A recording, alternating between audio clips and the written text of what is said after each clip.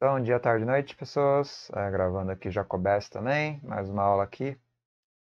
2 Belart Ramos. Confúcio, né? Eletiva. Só colocar aqui uma coisa. Tava no vídeo da BBC, mas só jogar a frase certa aqui na da aula de hoje, né? Confúcio, Confúcio, Confúcio. Confúcio.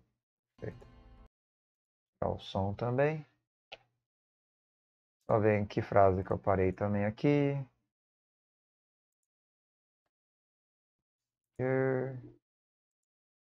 Frase gigantesca. É, aqui já tinha ido.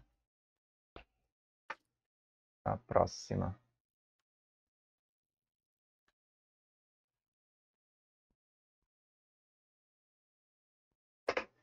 A próxima é curta. Bora lá então. Ops, pago errado. Então eu vou cortar aqui a câmera, né? Cortar e trazer a compartilhamento de tela e começar a falar das frases de Confúcio. Uma ou duas, três, três. Confúcio dá três frases, depende do tamanho, né? Que umas frases são gigantes. Sêneca tem umas frases bem mais curtas. Confúcio não, Confúcio é umas frases bem, bem elaboradas, né?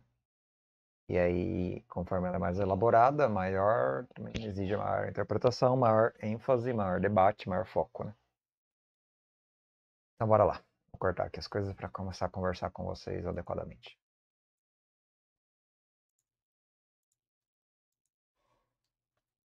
Ah, tô morrendo de sono. Qualquer coisa aí, pergunta no chat, tá? A gente vai conversando. Só se vocês estiverem online, no caso. Frase do dia, começando com essa frase aqui. É a seguinte. Beber água antes de falar também. Ah, um dia difícil para dar aula, não tô com vontade da aula também. Mas então, é a frase seguinte. Essa frase aqui, ó. Antes de embarcar em uma jornada de vingança, cabe duas covas. Eu concordo com a frase, mas eu não sei se foi ela dita pelo confuso. Como eu falei, às vezes essas frases ditas aqui, elas têm uma tradução, né, de um cara que eu não conheço. Não sei se ele falou isso mesmo, mas é, eu acho que até combina com Confúcio essa frase. Mas ela não combina só com Confúcio, é uma frase muito genérica, então qualquer tipo de intelectual pode ter dito ela. No caso da fonte, é sempre. Se o Seneca eu questiono menos as fontes, no Confúcio eu questiono mais. Porque normalmente historiografia na, de orientalismo, de filosofia oriental, de religião oriental, entre outras coisas, acontece muito de ter pluralidade de autor, né? O autor, ele é uma... faz o seguinte, eles pegam, assim, uma tradição filosófica e os autores, eles não assinam as obras. A tradição filosófica de várias pessoas compõe a progressão, pode dizer assim, da obra. Então tem muito sistema de filosofia oriental que é sistema coletivo, eles são menos egóicos. E nisso também acontece de frases de outras pessoas ou de outros autores serem dadas como de um autor ou outro. Então fica uma ambiguidade. Qual é a origem da frase? Qual é a origem da fala? No caso de Confúcio é um pouco mais certo. Confúcio é muito, mas muito importante, muito essencial, muito pilar na China. É o filósofo mais importante, pode dizer assim, da, da China antiga e pai de um monte. Tipo, ele é tipo o cara que. Tipo Platão, assim. Tipo, não, não é Platão, não. Tipo o Aristóteles. Não, Aristóteles não. Sócrates. Tipo Sócrates pro, pro ocidente, sabe? Sócrates, aquele cara que origini, originou, origini, originou todo um pensamento estruturado em questionamento e blá blá blá, fez debate, não sei o que lá, e criou uma escola de filosofia. Confúcio, entre aspas, faz isso também, que Confúcio tem muitos contemporâneos que debatem junto com ele, então é uma coisa um pouco menos também ponto de fuga, pode dizer assim. No entanto, é, voltando para a origem da frase, essa frase não parece só uma coisa que Confúcio diria, parece uma coisa que várias pessoas diriam. Mas a frase é legal, a frase é bacana, vamos debater ela em si, né? Então ela está dizendo o quê? Antes de embarcar em uma jornada de vingança, cabe duas covas. O que ela quer dizer com isso? Ela diz que você, aquele que está embarcando, né, o agente, o indivíduo, o cara que está tomando como destino como progressão de futuro, uma jornada, um percurso, uma construção, uma construção que tem com uma característica muito pontual, a característica de vingar, a característica de, de, de agredir o outro em resposta a alguma coisa que você sofreu anteriormente. É vingança. Não é gratuito, é responsivo. E nesse sentido, o que, que ele quer dizer com isso, né? Ele quer dizer que, se caso você, o indivíduo que se sente ofendido, que se sente ameaçado, que se sente humilhado, e nisso você busca redenção por, pela violência, redenção pela agressão do, do agressor, né? pela destruição do agressor, no caso, é, usando uma força poderosa o suficiente para conseguir é, efetivar um ato de redenção, redenção é péssima palavra, mas um ato de, digamos, ajuste de contas, entre aspas, ajuste de contas, pode dizer assim. Então, antes que você embarque nessa jornada de ajustar as contas e de, de agredir o outro que te agrediu inicialmente, ele sugere que você cave duas covas. Implica que a vingança normalmente é uma vingança ao extremo. Ela vai vingar no sentido de aniquilar a vida daquele que está sofrendo a agressão e que, por tabela, também participou e agrediu inicialmente. Então, quem é esse cara que te violentou, que te agrediu, que te machucou, que te, pode dizer assim, humilhou, ou que não matou você? É claro que você não matou ele, né? Quer dizer, bom, pode ter matado alguém, né? Da sua família, pode, por exemplo, ter matado seu irmão, matado sua mãe, matado seu pai, matado seu filho, matado alguém. Então, sim, ele pode ser um ato brutal, grotesco, impiedoso, insano, de uma humanidade travestida de, de, bestialidade? Pode, pode sim. Então, aquele que é o agressor, ele pode ter cometido um ato, o agressor primário, no caso, né? Pode ter cometido um ato imperdoável, impugnável. O cara pode ser um estuprador. O cara pode ser um pedófilo. O cara pode ser um assassino. O cara pode ser um torturador. O cara pode ser um rei genocida. O cara pode ser N coisas. Mas a frase, ela tem essa sabedoria de quê? Não quer dizer que você vai morrer fisicamente ao efetivar a vingança, tá? A vingança, sim, vai cumprir com o seu papel. O papel da vingança é competência, eficiência e execução. E a palavra execução no sentido pleno. Você vai executar a vingança. Executar a vingança sobre um ser humano, em parte, também é executar o ser humano ao se vingar. Quando você executa, tem N modos de execução. Você pode executar lenta, rapidamente, médio, não sei. Você escolhe como você vai efetivar esse ponto, mas o ponto é, já que você vai embarcar nesse caminho, nessa jornada, e você vai com coragem, ou com ímpeto, ou com plena consciência efetivar o ato vingativo, e esse ato vingativo vai aniquilar o oponente, o inimigo, aquele que era antes um agressor e agora é uma vítima, e sim, é uma vítima da vingança, esse indivíduo vai estar morto, teoricamente. Morto ou ao menos o extremo mais próximo disso. Como incapacitado, sequelado, é, humilhado ou é, mutilado, pode ser uma mutilação, mas você vai se vingar. Só que essa vingança é uma vingança que mata a alma e envenena, como fala, falaria o senhor Madruga.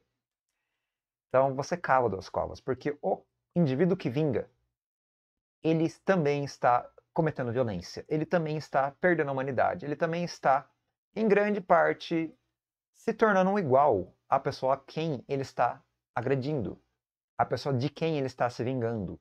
Ele iguala ele iguala, literalmente iguala, ele normativiza, normaliza, horizontaliza. Então temos dois assassinos. Temos dois humanos destrutivos, temos dois monstros. E você perde a humanidade. Então esse é o ato. A vingança, ela não apenas mata a alma e envenena, ela te torna alguém equivalente àquele que você está vindo, efetivando a vingança, o ato de vingança é uma coisa interessante de se pensar. Por exemplo, é, não cavar covas porque é morte como o resultado final, mas pensa que você foi traído pela sua esposa. O que você vai fazer? Vingar-se dela? Como é que você vai vingar-se dela? Querendo que ela, tenha, ela sofra dor, né? A dor que você sofreu, você quer causar nela. A mesma e equivalente ou até superior que você sofreu. Como é que você vai se vingar dela? Tirando os filhos dela? Abandonando, assim, é, pegando a guarda deles? É, e excluindo ela da vida deles? Ou traindo ela com várias mulheres, se você é um chifrudo, no caso. Ou, sei lá, é... Não sei, cara, várias possibilidades aí, mas o ato de se vingar não é um ato passional, um ato de olho por olho, dente por dente, um ato de eu me sinto merecedor de uma justiça, entre aspas, essa justiça é eu me tornar o criminoso. Não é um tanto incoerente você se tornar o criminoso para efetivar a justiça? Essa é a pergunta, né? Então, eu meio que concordo, cara. É... Não vai trazer de volta o orgulho. Se você foi traído, não vai trazer de volta a confiança. Se você foi perder um parente ou foi agredido ou humilhado, não vai trazer de volta, sabe? Então tem outros modos de você seguir a vida, seguir em frente, modos menos monstruosos. Aí você vai se sentir justificado, engrandecido, empoderado, porque você foi lá e efetivou a sua vingança. A vingança tem um gosto doce, do poderoso, um gosto intenso. E só isso. E você cava duas covas. Porque cavar duas covas, nesse sentido metafórico, é que você é um monstro. E você nunca se purifica. Você tomou ação, tomou vontade, por livre espontânea uh, escolha de construir um destino. É que tá o ponto. O Vingador, ele é perdoado? O Justiceiro é perdoado? O indivíduo que agride o outro porque o outro é culpado, a primeira instância é culpada, esse indivíduo de segunda instância, ele é entendido como inocente?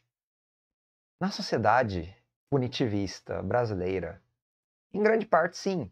Matar bandido é justiça. Bandido bom é bandido morto. Aquele que causou o mal inicial merece a punição. Sabe quem são essas pessoas? Vingadores, justiceiros. Quem fala isso é equivalente à pessoa que cometeu o crime. Está, além de ser equivalente, está é, criando um ambiente social que justifica que aquele crime tinha, tenha acontecido, porque ele meio que dá combustível para pessoas que cometem crimes. Você é parte do problema. Você é parte do, da corrupção da sociedade. Você é violento. Você é destrutivo. Você é desumano. E nisso você já cavou a cova faz muito tempo. Já está enterrado até o pescoço. Ou até mais que o pescoço. Você está a sete palmos de profundidade. Porque você é uma pessoa nesse sentido extremamente moralista, extremamente utópico, extremamente é, humanista, você é decadente. Você já é a corrupção na existência humana, na sociedade humana. Já é parte de toda a cadeia de violência. Você é violento. Você é vingativo. Você é um justiceiro. Então, a priori, mesmo o outro ainda não tendo efetivado o ato desumano dele, se você tem essa mentalidade de que o crime deve ser punido com mão de ferro, deve ser punido com um ato de pura aniquilação, sem ausência de diálogo, de pura estirpe da vida do outro.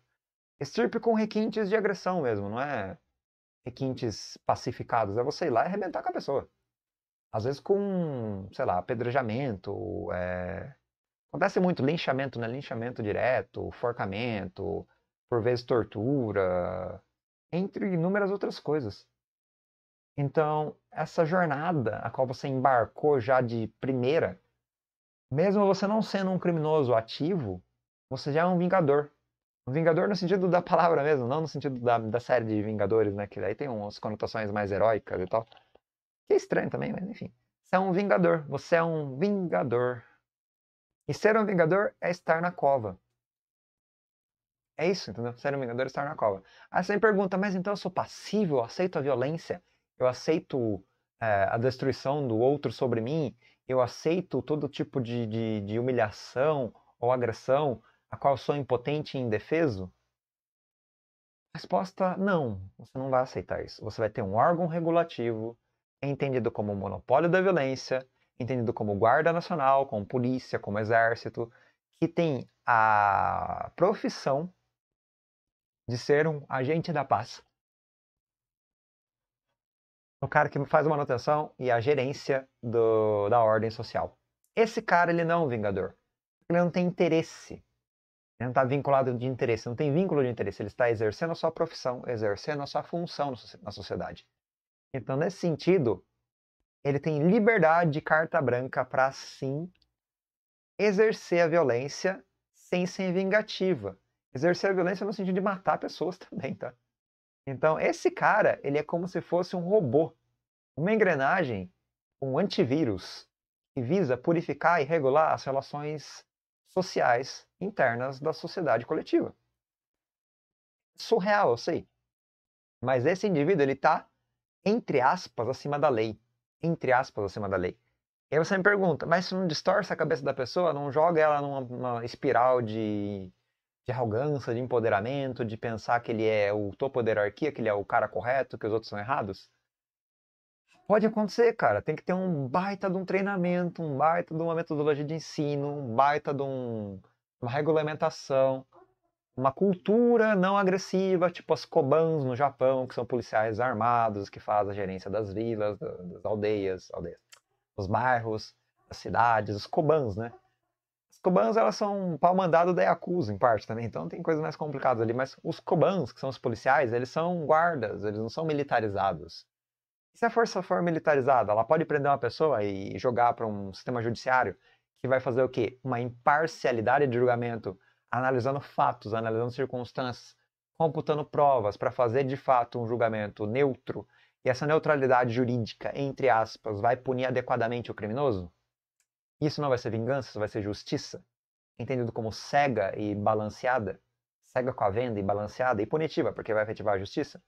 Sim, a lógica é essa. A lógica é essa. Então a vingança é uma força pessoal de justicerismo. Justicerismo é peça. De acerto de contas. Esse acerto de contas não tem a ver com um vínculo de instituição que medie a, a, a possibilidade de um acerto de contas justificado. Então, se você fizer o acerto de contas com as próprias mãos, você é um monstro, você é equivalente àquele que você está agredindo. Se você fizer um acerto de conta junto dos meios adequados, jurídicos, é, policialescos, de leis e outras coisas, aí nesse sentido a vingança não existe.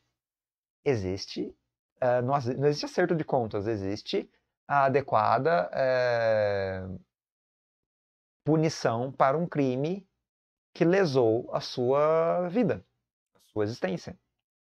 Esse é o ponto. Então, matar estuprador, matar pedófilo não resolve o problema.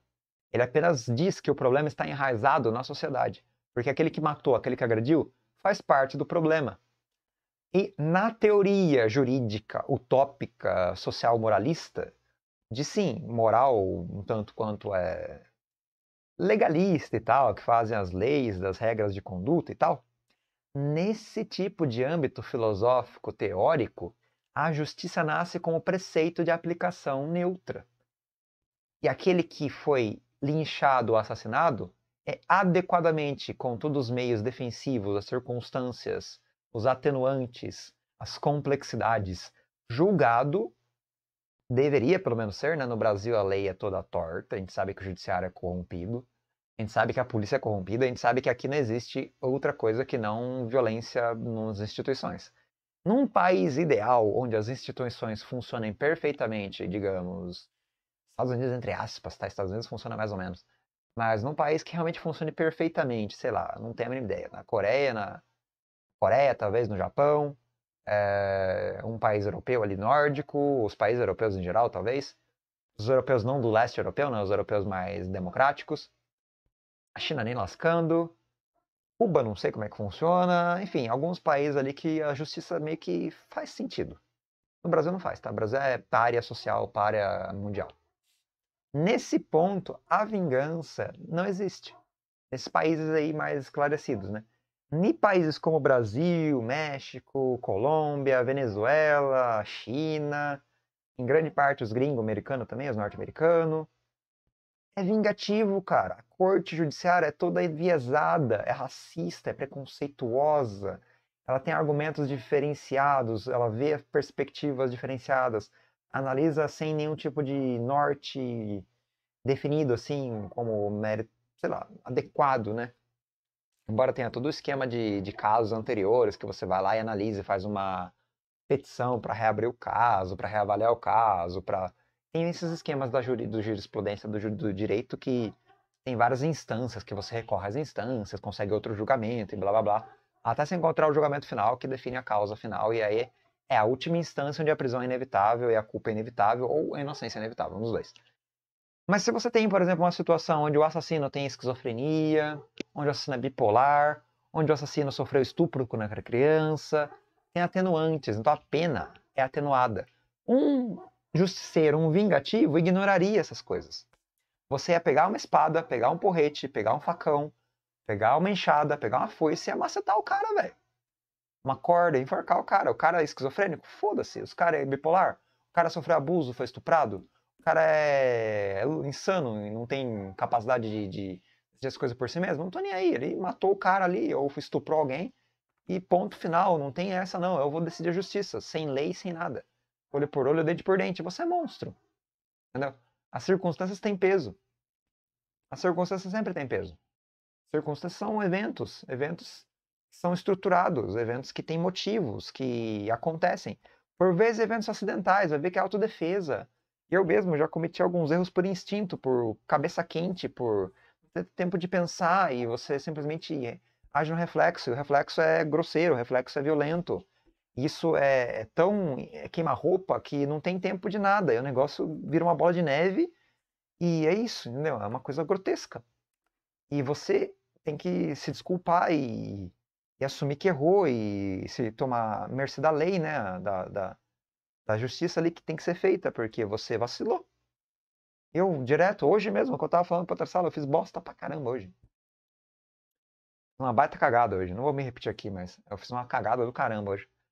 E tinha uma, uma circunstância, um momento, um timing, uma situação um contexto de passado, de momento, de, de rancor, de emoção, que me levou a perder a cabeça. Mas não foi uma perda de cabeça violenta nem nada, foi um momento de dois, três segundos, não foi uma gritar nem nada, foi, foi instinto puro, foi reação mecânica da minha parte. E eu percebi isso dois, três segundos depois que eu fiz, daí eu, puta, fiz bosta. Eu percebi, percebi na hora que eu fiz bosta, mas foi muito. Me, putz, eu me senti. Me senti meio que contra a parede e eu acabei reagindo e depois eu causei uma reação na reação que eu causei. Eu fiz um efeito e esse efeito causou uma reação e essa reação voltou contra mim. Normal, assim. Então, sim, é, você tem que tomar cuidado. É, não foi por vingança nesse caso, foi por instinto, mas é, a ideia é que tem um contexto, né? O contexto ele diz muito sobre o resultado. O resultado ele tem todo um vínculo de, de, de aplicação, de manifestação, de consolidação da realidade. E a vingança em si é só uma realidade crua, nua e brutal. É uma monstruosidade validada pelo indivíduo que comete a monstruosidade e por vezes pela sociedade que acha que a monstruosidade é a lei. É tipo aquele velho oeste norte-americano onde era terra sem lei, era anarquia, onde você ia lá, genocidava a galera, estuprava a galera, é, e o xerife tentava fazer lei, mas talvez não conseguisse. E o xerife também, por vezes, era criminoso ou um ex-criminoso e matou um monte de gente e era aquele negócio de, ah, eu puxei o gatilho primeiro porque eu tô armado, se foi autodefesa, se foi assassinato. Tem muito disso no, no, no Velho Oeste, cara. O negócio era agressivíssimo. Era uma terra onde não tinha estrutura social. Não tinha força policial. Tinha ali os cargos públicos improvisados, que eram xerifes, os subxerifes e outras coisas que faziam a regulação de uma sociedade em miserável, em plena explosão, onde territórios indígenas eram roubados, onde mexicanos eram desempossados da sua terra natal, onde tinha muita violência agrícola, violência pecuarista, violência das mais diversas, de pessoas sem lei mesmo, gangues, bandoleiros, ladrões de banco, entre outras coisas. Era uma época, assim, que é de cinema, né? Registro cinematográfico, né? E também registro histórico, claro, né? É uma época diferenciada, tá ligado? E é uma época brutal. Você nunca sabe se você está vivo, você vai ter um tiroteio na cidade e você vai uma bala perdida. Que nem o Rio de Janeiro hoje em dia. Entendeu? É vingativo, a polícia vai lá e vinga um policial morto, aí os bandidos vingam os bandidos mortos. A cidade fica puta com os dois lados e quer vingança também. E é sangue por sangue, dente por dente, olho por olho, tudo por tudo. É isso, cara, é brutalíssimo, é a cidade bestial. E essa frase do Confúcio é isso, ela só denota isso. Ó. Se você vai embarcar nessa jornada, meu filho, se prepara, porque você é monstro, cara. Você é cava das covas aí, não importa se vai morrer ou não, cara, você é um monstro. E é isso, você vai viver até o fim da sua vida como um monstro. Tá? Monstruosidade. Eu tenho até um caso familiar disso, meu avô matou minha avó, meu. Ele era considerado um monstro na família. Não era vingança, vingança, vingança. Foi um negócio escroto ali que ele esfaqueou ela várias vezes e tal. Se não me engano, ela tava grávida, mas peculiaridades outras, né? Complexidades outras. Foi preso, cumpriu a pena, foi julgado, saiu da pena e era o cara, mano. Filho da mãe, né? Fazer o quê? Vou bater no meu avô? Vou socar meu avô? Nem conheci minha avó, nem conheci. Meu avô conheci, mas foi por pouco tempo. Depois ele morreu ataque cardíaco. É... Mas, velho, ninguém se relaciona bem com o cara. Assassino da, da mãe da, da minha mãe, mano. Você olha pro cara, o cara matou a facada, não é, mano?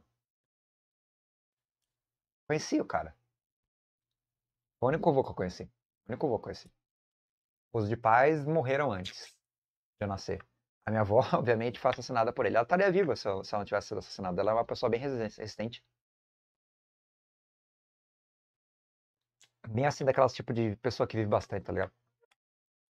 E incrível que pareça, os voos do meu pai, né? É que meu pai era, ele teve muito velho. E uh, os voos, né, da, da, parte do meu pai, viveram bastante. Um caiu de cavalo e acabou tendo uma fratura ali, aí deu ruim. E a mãe dele, eu não lembro o que aconteceu direito com a mãe dele. Aí tinha a madrasta dele, que é uma mocinha interessante também, uma mocinha, uma senhora interessante e tal. É, acho que era Madalena o nome dela.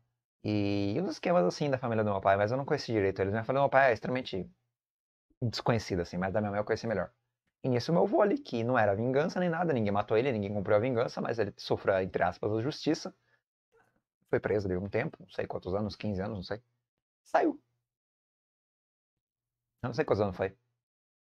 Eu não tenho a ideia. Mas deve ter sido ali uns 10, depois não sei como é que funciona o negócio. Não perguntei a minha mãe também. Mas enfim, o cara era um pessoa mal vista, entendeu? Porque ele era um monstro. Monstro por quê? Porque cometeu um erro grotesco. Mas a... monstros são seres humanos? É a pergunta que eu faço para mim mesmo, né? Enfim, se você era um ser humano antes e se tornou um monstro depois, você deixa de ser humano? Não, você continua sendo um ser humano, porque seres humanos é uma característica eterna que está junto a você. Você ganha um rótulo novo.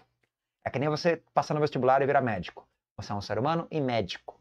Se você é um ser humano e mata alguém, você é um ser humano e monstro. Esse rótulo fica em você eternamente? É complicado. Talvez não. Porque você pode se redimir, por exemplo. Aí você explica, olha, matei por tal situação, tal contexto, levei minha pena, cumpri minha pena, agora estou redimido, me reformulei, sou uma nova pessoa, vou voltar para a sociedade. Então a minha monstruosidade diminui, eu me torno uma boa pessoa. Então monstruosidade não é um rótulo definitivo. Então você pode ser monstruoso por um momento, que dura ali no, no ato e perdure por alguns anos pelo julgamento, pela, pela tomada de consciência e a reabilitação. Quando você é reabilitado, você pode perder a monstruosidade. Então, assim, aquele que comete vingança ou aquele que agride por motivo primário, né, que é o primeiro a cometer a violência, essa pessoa é monstruosa em um momento. Ela pode deixar de ser monstruosa depois de vários tempos de redimir. De redimir, né? De redimir tem que ter culpa, tem que ter punição, lavar, lavar roupa suja. Alguém que mata alguém e nunca se redime, pode se redimir com Deus, com a sua psicologia, nunca mais matar ninguém, virar padre, sei lá, pode, sem a justiça ser efetivada. Tem vezes que acontece. Você pega assim um cara que, ah, é, tipo, vou dar um exemplo aqui, o Vinland Saga, que é um mangá. O Thorfinn, que é o protagonista do Vinland Saga, ele matou geral, assim. Ele era um guerreiro, ele ia na guerra e ele matava total, assim. Literalmente. Ele varria o chão com os inimigos, matou um monte de gente. Só que depois ele se redimiu. Nunca foi preso, nunca foi julgado, nunca foi punido. Ele era o vencedor ali das guerras vikings, né? Porque eram guerras vikings. Mas o Thorfinn ele chega e fala: Cara, eu sou pacifista, cara, nunca mais vou matar ninguém. Eu quero redimir. O, é, sabe aquela metáfora da teia de aranha? Quando o cara comete um pecado e vai pro inferno budista, um inferno lá do, do, do da religião budista, aí um Buda, acho que é o Buda, lança uma teia de aranha porque na vida do cara que é criminoso ele salvou uma aranha. Ele vem a salvar uma aranha. E essa aranha, ela, ela é uma, digamos, uma, um ato de bondade e pureza do indivíduo que era um monstro. E essa teia serve para buscar ele do inferno e trazer ele de novo para a vida, é, digamos, para o mundo mais neutro, assim, virar um fantasma, não no paraíso, mas alguém que não vai ficar no inferno, pelo menos, né? Só que aí tem duas coisas que podem acontecer. As vítimas dessa pessoa agarrarem os pés deles e puxar ele para baixo e a teia arrebentar ou ele chutar as vítimas dele com os pés para tentar manter e escalar a teia, Ou, não sei, é que é metáfora. A metáfora é um tanto ambígua. Esse cara que tá buscando a teia de aranha para subir o paraíso, ele meio que bate e maceta as pessoas que estão embaixo, que também buscam salvação. E nessa teia arrebenta. Quando a teia arrebenta, ele volta pro inferno, porque ele foi. Ele perdeu a bênção, ele perdeu a pureza, ele perdeu a gentileza. A gentileza inicial dele com a aranha foi corrompida pela vingança ou pela sobrevivência, pelo egoísmo dele, em relação a querer ser libertado e ascender novamente para uma situação melhor. E nisso ele é condenado ao inferno novamente. Né? No caso do Thorfinn, ele não faz isso, ele não chuta os cadáveres, ele, ele abraça os cadáveres. Ele leva todo mundo para cima junto com ele, ele leva a culpa junto com ele, ele se redime da culpa sem negar a culpa. Ele aceita a, as vítimas que ele causou. Ele se redime em vida. E sim, ele deixa de ser um monstro. Esse é o exemplo mais clássico de ele deixa de ser um monstro. Ele se torna um ser humano. No sentido mais pleno, né? Ele já era um ser humano, mas ele se, ele se reumaniza. Ele infla sua humanidade, pode dizer assim. Ele infla a humanidade e fica mais humano ainda. Então esse é o arco do Thorfinn do Vinland Saga.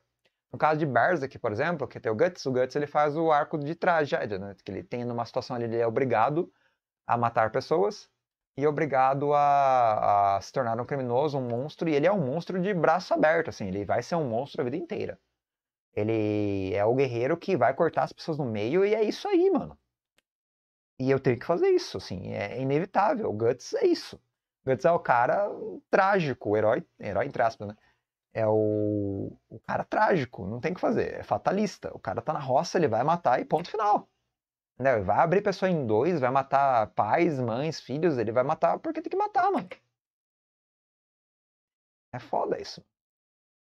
Frase me deixa muito triste, cara, essa frase. Do antiga, né, anterior fico muito mordido com isso porque me dói, sabe? Me dói bastante. Mas indo pra próxima agora, com uma frase curta também. Sorte, né? É a seguinte frase, né? Ter, terminando aquela lá da vingança e tal, e precisa cavar duas covas. É uma frase bacana pra caramba, mas. Vamos seguir em frente, pra ter mais, pelo menos duas frases na sala. Então, essa frase da vez, a segunda frase é a seguinte, ó. Não imponha aos outros o que você mesmo não deseja. Que é uma frase recorrente, né? Acho que já falou disso em algum momento em Confúcio que é não deseja ao outro aquilo que você não deseja para si mesmo. E aqui é uma reformulação, né? Não imponha aos outros. Então tem um outro não, não é desejo, sabe? É expectativa. Aqui é força mesmo, porque você tem poder. Poder. É, então, não imponha aos outros. O que é impor? Impor é obrigá-los. Impor é coagi-los. Impor é doutriná-los, controlá-los, é fazê-los se submeter à sua vontade. Então, por exemplo, ah, eu não quero passar fome, então não vou impor fome a outra pessoa. Eu não quero passar frio, então não vou impor frio a outra pessoa. Eu não quero ser privado da minha liberdade, então não vou privar a liberdade a outra pessoa. E nisso eu cometo um equívoco brutal porque eu já fiz isso. Eu sou um hipócrita. Eu já impus aos outros coisas que eu não queria que fossem a mim mesmo, que eu não desejava a mim mesmo que eu não, quiser, que eu não queria que fizessem comigo. A tempo inteiro esse conflito, cara, é sempre difícil. Cara, eu, eu sempre tô nesse conflito, porque eu tenho poder, eu tenho que exercer o poder, eu tenho que exercer a autoridade, ou exercer a identidade, principalmente como professor. E eu odeio fazer isso de coração. E ao mesmo tempo é viciante. Você não tem ideia do quanto o poder vicia, corrompe. E você ali com a caneta na mão. E eu já chantageei aluno, tenho caneta na mão. Não que eu fiz de maneira grosseira, tá abrindo, em meio sério, né? Só para o aluno calar a boca e, olha, cara, se coloca no seu lugar, mano. Se coloca no seu lugar. Eu não vou fazer isso, mas eu poderia fazer isso. Eu não quero fazer isso. Eu fico falando, eu não quero fazer isso, não quero fazer isso. Tá me forçando a querer fazer, fazer uma coisa que eu não quero fazer. Eu não vou levar você pra diretoria, eu não vou tirar de dar punição, eu não vou te dar suspensão, eu não vou te agredir. Quero. Eu não quero impor a você uma coisa que eu sei que é violenta. Mas você não coopera. Entendeu? E isso é complicado. Mas que, por que você quer que coopere, professor? Você está certo em questionar isso, você está certo em questionar isso, você está certo em questionar isso. Mas eu preciso exercer a minha função de dar a aula para esclarecer o destino de vocês. Ou ao menos auxiliar alguém a pensar sobre o mundo, porque eu trabalho para fazer isso. E é horrível eu ficar parado olhando pra parede enquanto todo mundo faz o que quer e eu não faço nada, eu não posso controlar a classe. É horrível o inferno de vida e isso aconteceu hoje. Eu não quero impor, mas ao mesmo tempo eu não posso ferrar com as pessoas e ao mesmo tempo eu não tenho controle, as pessoas são livres. E eu não quero. Ai, meu Deus do céu, isso é um inferno, vida. Eu tô debatendo isso aqui a cara, mas é, é, queima, assim, me queima profundamente esse negócio. É um conflito constante, constante. Todo santo dia tenho isso, toda santa aula tenho isso. Tem classe que é tranquila, mas tem classe que, meu Deus do céu. Cara do céu, que foda. E a bosta que eu fiz hoje também. Meu, não dá, mano, não dá. Ver água. Dá, cara.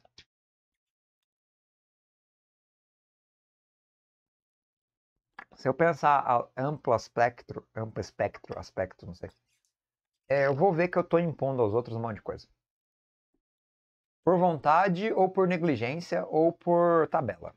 Tem o negócio de fazer coisas más sem querer por tabela.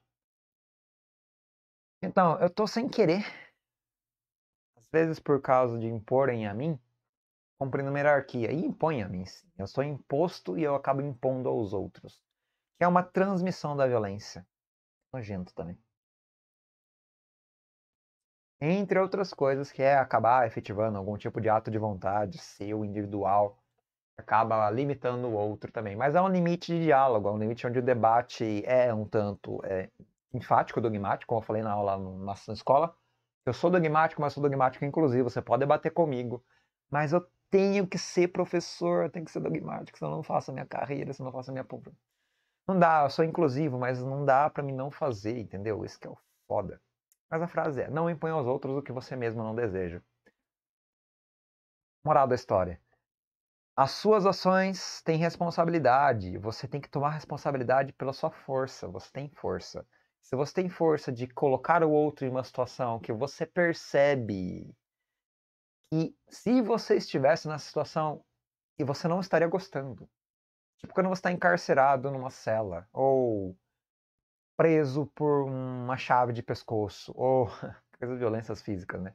Ou com carências das mais diversas, como uma carência sexual, afetiva, ou financeira, alimentar, nutricional, entre outras coisas. Se você tem o poder de impor no outro a carência e tornar o outro um enfraquecido e desempoderado, não faça isso. Não faça isso.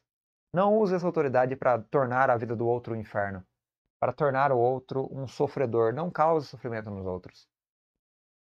Você não deseja isso para você, então não faça isso nos outros. Dor, qualquer tipo de dor, física, mental, psicológica, intelectual, não cause nos outros, sabe? Eu debato, eu sei que filosofia é complicado, eu tenho que ficar debatendo coisas, ideias e tal. E ideias machucam ideias cortam fundo na carne. Corta muito. Mas a ideia é para debate. Então tem toda uma metodologia. Metodologia é aberta, não é por maldade. Metodologia é simplesmente investigativa. Eu não quero impor o meu intelecto, impor a minha moral, impor a minha verdade. Eu estou debatendo, estou falando. Me questione. Isso aqui é uma teoria. Eu estou elaborando um pensamento. Me questione. Por favor. Quebre a minha verdade, me arrebenta, por favor. Não fica passivo, dócil, entendeu?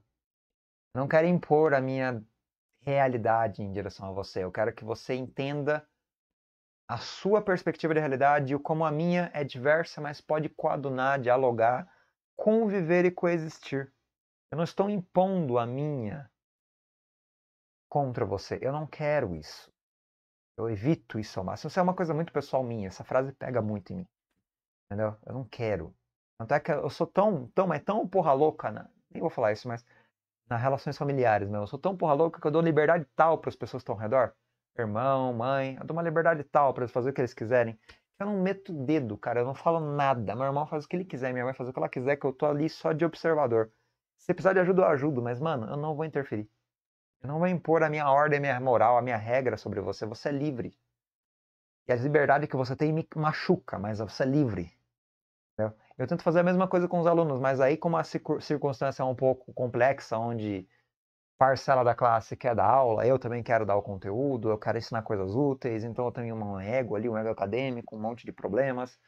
Então eu acabo impondo um pouco eu imponho, não é como se eu fosse, sei lá, entrar lá, bater o ponto, virar as costas para os alunos e ir embora. Aí ferrava também, eu ser demitido. Então, aquele esquema de transferência de imposição.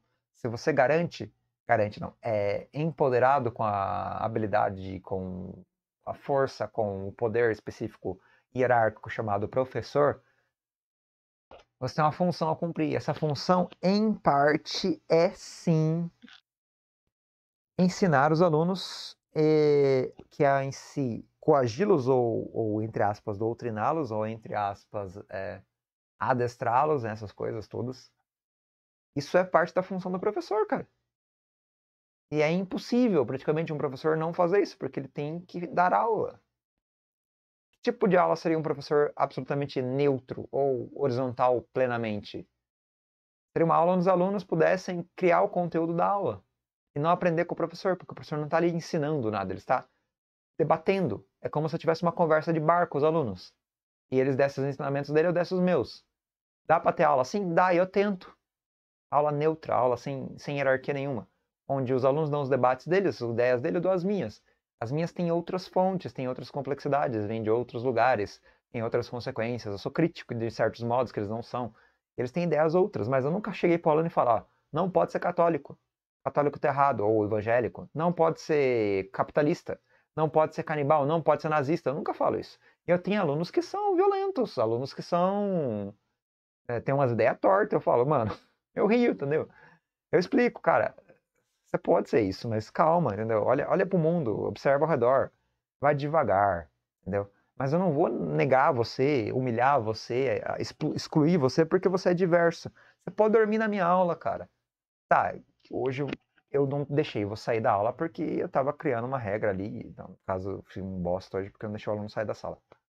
É, mas aqui era uma situação também que, cara, já ia sair 10 segundinhos, espera aí, já tá todo mundo saindo. Calma, porque você forçou a passagem, mano. Não precisa impor a sua vontade em mim, cara. Não precisa, entendeu? Eu, se você fosse um policial, um médico, um segurança, e o cara falasse, você já vai entrar, você já vai entrar.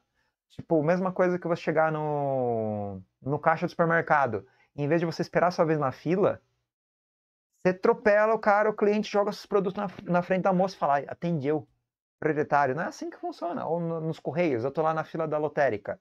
Aí eu vou lá e corto a fila inteira, arrebento com todo mundo, falo, agora é minha vez. Cara, não é assim que a vida funciona. Calma. Todo mundo tem a sua vez, entendeu? Não, não tem que atropelar, não tem que impor a sua vontade. Você não ia gostar de estar na fila e alguém cortar a sua fila e você passado para trás. Você não ia gostar de estar na fila do supermercado e alguém passar a perna em você e falar: Não, agora é minha vez de ser atendido, você que se foda. Não é assim que funciona, mano. Não impõe aos outros você não deseja que aconteça com você mesmo. Isso do supermercado é o que aconteceu hoje. É o exemplo do aluno apressadinho me empurrar para fora da sala, forçar a passagem e é nojento. É nojento. E o que eu fiz foi repulsivo também. Depois que eu grudei ele pelo colarinho e joguei na parede. É... É, foi impulso, foi totalmente impulsivo que eu fiz. Eu não, eu não pensei, eu fui por reflexo. É, eu travei ele porque ele não devia sair. Eu pensei, não tem que sair, não pode sair, não pode sair, é proibido. E é o proibido que ficou na minha mente em um segundo. Esse segundo moveu meu corpo e meu corpo, entre aspas, atentou contra a liberdade dele, do corpo dele, porque eu prendi mesmo com força. É, fiz um círculo ali com ele e joguei na parede, sem querer, joguei na parede também, foi por querer. E falei para ele respeitar, respeita o professor. Ele ficou puto pra cara, quase me socou. Ah, mas enfim. Calma, cara, calma. Eu vou explicar o que eu falei agora para ele na semana que vem. Entendeu? Eu vou jogar na cara dele. Olha, se você estivesse na fila da lotérica, se você estivesse na fila do açougue, se você estivesse na fila do, do, do, supermercado, não é assim que as coisas funcionam, cara. Todo mundo é sua vez. Calma. Entendeu? Calma. Entendeu? E vou pedir desculpas porque fiz bosta. É foda isso. É foda isso. É uma situação complicada, né? Complicada. E, e é a mesma coisa que da frase aqui, não impõe aos outros o mesmo que você não deseja. Você não quer que as pessoas te machuquem, ou te impeçam a liberdade, ou oprimam a sua dignidade humana, ou te humilhem por tabela. Eu meio que humilhei ele sem querer, porque eu fiz isso no corredor, na saída da escola, e todo mundo tava lá. Literalmente, eu acabei humilhando ele indiretamente, não era ideia, mas foi imediato ali, foi instintivo. É para impor a sua vontade, não imponha. Não é só vontade física, é vontade intelectual, é vontade moral, é vontade existencial, não é para impor. Aí você pensa, mas humanos não impõem a vontade deles com os outros animais, como por exemplo, escravizar as galinhas, os porcos, os bois, os cachorros, os animais domésticos, as plantas. A gente não escraviza eles para serem animais de estimação, animais domesticados? Sim. É impor a vontade humana? Sim. Você queria ser um animal domesticado? Não. Entendeu? O ser humano é hipócrita e corrompido até a raiz? É. Porque ele faz isso com o meio ambiente. Ah, vou impor a esse rio aqui a... o percurso que eu desejo porque vou canalizar o rio, vou canalizar o rio. Você gostaria que a sua realidade fosse canalizada? Que você pudesse correr apenas num fluxo determinado? Você pudesse ir da sua casa para trabalho, do trabalho para casa apenas por uma rota? E nunca pudesse sair dessa rota? E não pudesse ir para o cinema? E não pudesse, sei lá, ir para o bar? Você ia gostar disso? Por que, que o rio vai gostar disso? Porque as vacas, as galinhas, os porcos gostam disso. Será que eles gostam mesmo de serem humilhados, controlados, agredidos, é, escravizados, sim, escravizados, é, impostos uma vontade humana sobre eles. Então, esse é um ponto também. Humanos, eles efetivam essa vontade contra outros seres inferiores, inferiores não, mais frágeis, mais é, diversos, que não têm as mesmas capacidades de defesa, resistência ou adaptação, que não são inferiores, tá? São plenos, mas são diversos. Esses outros seres, eles estão sofrendo a pressão e a subjugo da humanidade, ponto final. E a humanidade, quando ela impõe, por exemplo, que você seja alfabetizado e vá para a escola, ou a humanidade, quando ela impõe que você tem que trabalhar oito horas por dia, e a humanidade, quando ela impõe que você tenha que comprar coisas com certo preço, não é uma imposição? É uma imposição. Sempre é imposição. É um acordo, um contrato e uma imposição também. É as duas coisas, é a zona cinza. É entre aspas ditadura, entre aspas liberdade. Sim, você vai pagar pelo que você compra. Não pode roubar. Sim, você vai trabalhar para poder pagar pelo que você compra. Sim, você vai estudar para poder trabalhar, para poder pagar pelo que você compra. Então, uma, uma, um tecido, um sistema, um sistema de relações sociais que tem imposições tácitas, imposições sutis, pressões e opressões, violências e violências. E é por isso que eu reconheço nos alunos um grande amigo, porque eles estão sofrendo violência. Eu não vejo eles como sei lá, é, escolhas, eles estão presos ali. Sala de aula é uma cadeia, entendeu? Entre outras coisas, eu tenho vários conflitos com isso, vários conflitos. Vocês percebem isso quando eu dou aula. E quando eu dou aula aqui, no caso, no centro de mídia. Na sala de aula é mais difícil de falar essas coisas, mas aqui eu falo com mais frequência, né? O tempo inteiro, porque as frases também ajudam a falar, a refletir sobre isso. Eu acabo enviesando as frases um pouco, mas tudo bem também. Então, essa é a lógica, velho. Estou impondo aos alunos uma, uma conduta, uma regra, um comportamento que é um parte um convite, em parte uma, um controle. Não tem como fugir do controle, mano. É uma coerção. Estou sendo capataz. Eu falei na sala de aula, sou capataz de vocês, mano. Chicote na mão. Eu odeio isso. Eu odeio isso. E eu odeio o que eu fiz hoje. Eu preciso rever o que eu fiz agora e pedir desculpa pro moleque. Falar para ele que ele também deve desculpa, é claro, porque ele fez foi errado, mas é, numa situação de respeito social e tal, ele fez foi errado. Eu também fiz besteira. A gente tem que entrar no acordo, cara. Não é assim que funcionam as coisas, velho. Presta atenção, não é assim que funcionam as coisas, mano. Entendeu? Vai com calma, mano. Você não pode me empurrar desse jeito. Eu sei que falei bosta pra você ali do, do que você. Você tava mexendo com a mina também, não era adequado mexer com a mina. Eu falei que você tava com a testosterona alta e tal. Fiz bosta, falei demais, mas não é assim que a banda toca, mano. Então, acertar as pontas aí com o jovem depois, né? Não é um brilhante aluno também, é um moleque normal, assim. Agressivo, lógico. Pavio curto, óbvio. Na frase do dia foi essas duas, caras. Essas duas aí. E acabo por aqui, agora fica de plantão para as dúvidas dos alunos. E tem muito mais que falar, né? Eu vou fazer o desdobramento aqui, debate, fixação de conteúdo e interação em relação às aulas de letiva. Eu vou colar aqui daqui a pouco o... a plaquinha do plantão. E eu vou ficar aqui mais 40 minutos com vocês, esperando se mandarem dúvidas, tá? E perdão aí por misturar minha vida, misturar relatos e as frases, mas acho que ajuda a embasar as frases, né? Porque é uma coisa mais tátil, uma coisa de, de, de exemplo mesmo, né? É uma coisa mais palpável. E que lá, exemplo da fila é muito bom, cara. Exemplo da fila de pão, da fila de pão. Da fila da feira, da fila do supermercado, da fila da lotérica. Faz tudo sentido, entendeu? Você não tem que impor a sua vontade aos outros. Tem que esperar a sua vez. E ele ia ter a vez dele. Cinco segundinhos ele saia da sala. Cinco segundinhos, no máximo. Mas não é assim que funciona na cabeça dele, né? Vou conversar com ele, mesmo que ele seja dificílimo. Dificílimo. Mas enfim, é a vida. Então é isso, galera. Obrigadão. Até mais. Até a próxima. Falou, Zé. E é isso, pessoas. cortar aqui. OBS também, YouTube. Valeu, galera. Perdão aí pela lamúria. Lavagem roupa suja de novo. Ai, cara.